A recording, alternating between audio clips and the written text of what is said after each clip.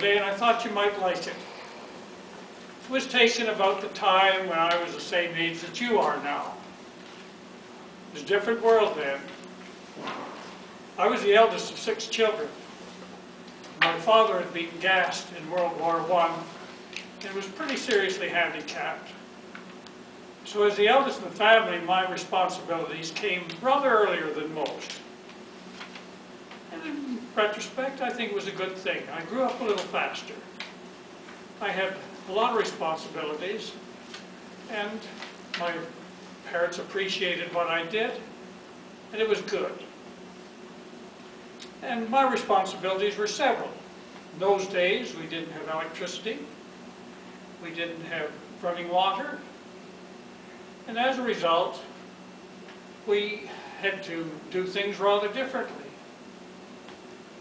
Because we didn't have uh, electricity, we had wood stoves.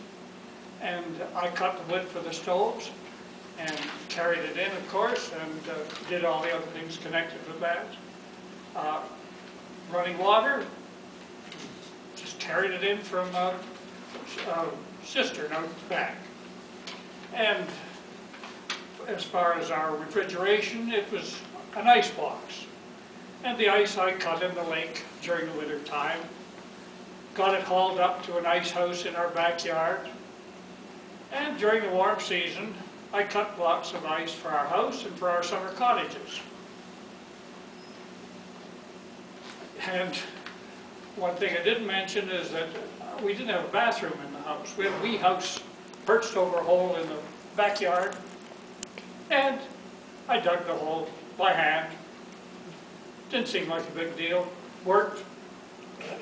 One of the things we didn't seem to have, maybe it was because we didn't have much money, but we didn't have toilet paper. So the Simpsons and the Eaton's catalogs, where we got our paper from, when you got down to the smooth pages in the book, you folded a certain amount, a couple of pages up, put them in your back pocket. Two or three days later, they were ready to be used. Living by the lake most fortunate in my case. We had fishing, we had swimming, hunting in the fall. We even had a golf course. And we had all the other sports. It was great. I, I loved the place. We're for- more fortunate than most. Anyway, a lot of this stuff must sound kind of foolish to you. But uh, there you are. Life was different then, but it was pretty good. And uh, so I'll see you hopefully next week. Love, Grandma.